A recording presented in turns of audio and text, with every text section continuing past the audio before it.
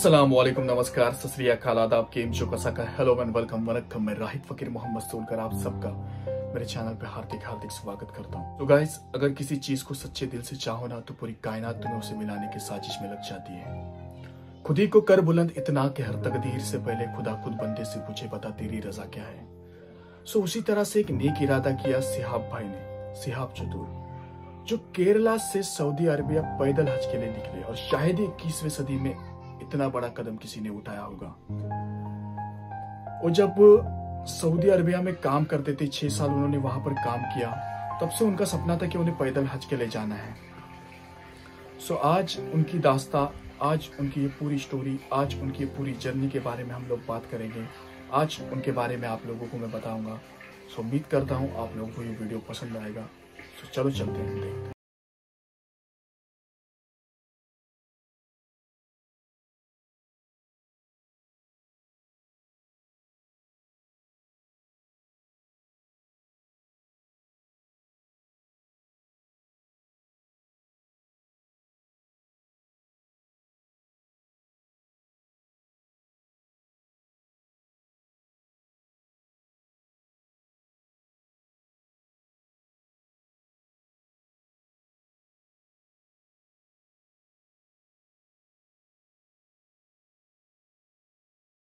सुरमा लगाए हम और जाली पकड़ के रोज अकदस की हाथ में सब हाल दिल रसूल खुदा को सुनाए हम।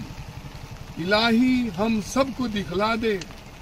मदीना कैसी बस्ती है जहाँ पर रात दिन मौला तेरी रहमत बरसती है। नाम Farooq I am from Kerala मेरा दिल तड़प रहा है, मेरा जल रहा है सीना, के दवा वही मिलेगी, मुझे ले चलो मदीना मदीना, मेरा दिल तड़प रहा है, मेरा जल रहा है सीना। मुसाफिर को है कितना शौक ए सफ़र खुद उन्हीं को पुकारेंगे हम दूर से। रास्ते में अगर पाव थक जाएँगे।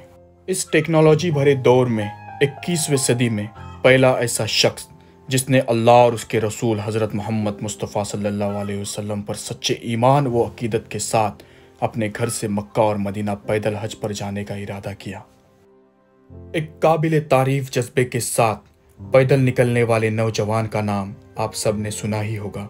सिहाब भाई चतुर। सिहाब भाई चतुर भारत के केरला राज्य के मल्लपुरम डिस्ट्रिक्ट से बिलोंग करते हैं जिन्होंने सच्चे ईमान और अकीदत के साथ सफ़र मक्का पर पैदल जाने की ख्वाहिश की। सिहाब भाई जोखिम और तकलीफ़ भरे इस रूहानी सफ़र पर ऐसे दौर में निकले हैं आज के दौर में पैदल हज पर जाना लगभग नामुमकिन है। मलपुरम केरला से सऊदी अरब का सफ़र तकरीबन 8,600 किलोमीटर की दूरी पर है। अकेले पैदल सफ़र तय करने वाले सिहाब भाई चतुर का आप हौसला देखिए।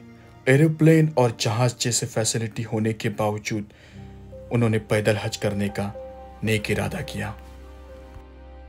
मैं अकेला जा रहा था जाने बे मंजिल मगर लोग आते गए और कारवा बनता गया। लेकिन आप हैरान हो गए, अकेले सिहाब भाई को ये सफ़र केरला से कर्नाटका कर्नाटका से गोवा गोवा से महाराष्ट्र महाराष्ट्र से गुजरात गुजरात से पाकिस्तान पाकिस्तान से ईरान ईरान से इराक और इराक से कुवैत और कुवैत से होते होते हुए सऊदी अरबिया जाना होगा जो कि लगभग 8,600 किलोमीटर का रास्ता होगा।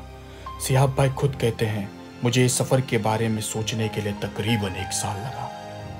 सिहाब भाई से जब बात की गई तब उन्होंने बोला कि रास्ते में क्या रुकावट आएगी क्या दिक्कत आएगी आपको ये नहीं सोचना, आपको बस आपका मकसद देखना है। सो वही मकसद को देख कर ये नेक इरादा कर कर सियापा निकल गए। उनका ये भी कहना था कि मुझे कोई शख्स नहीं मिला जिससे मैं ये बात रख सकूँ। उन्हें सफ़र की शुरुआत करके लगभग बावन दिन हो गए। उन्हें कुछ नहीं पता था कि सफ़र कैसे तय करना है, रास्ता कैसे तय करना है क्या क्या दिक्कतें आएगी क्या क्या परेशानियाँ आएगी।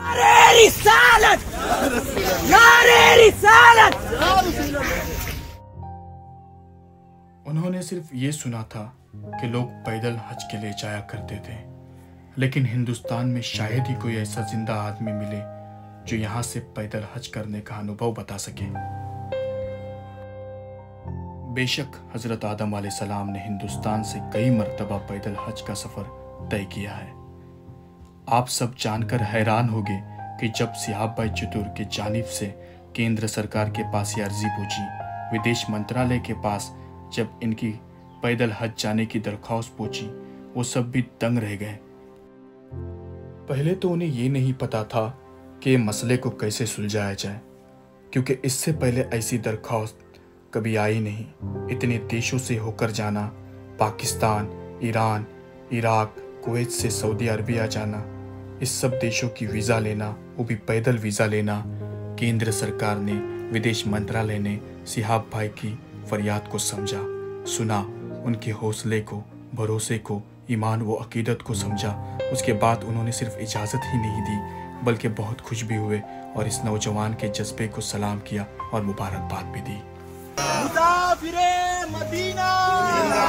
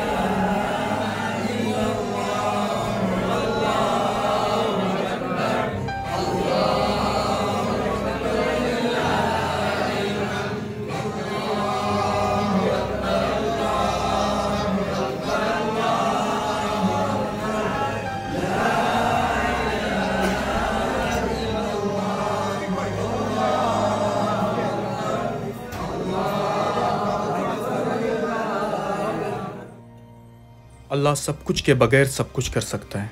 अल्लाह सब कुछ के बगैर सब कुछ कर सकता है, मगर ये सब कुछ अल्लाह के बगैर कुछ नहीं कर सकता। अल्लाह ताला सिहाब भाई के सफ़र को आसान करे। सिहाब भाई ने खुद बताए हैं कि जब से उन्होंने सफ़र की शुरुआत की, वो पाँच मिनट भी अकेले नहीं चले हैं। सब उनके साथ चले हैं। अलग अलग गाँव के लोग, पुलिस फोर्स भी साथ में चले हैं। न दौलत से, न दुनिया से, न घर आबाद करने से तसल्ली दिल को मिलती है खुदा को याद करने से।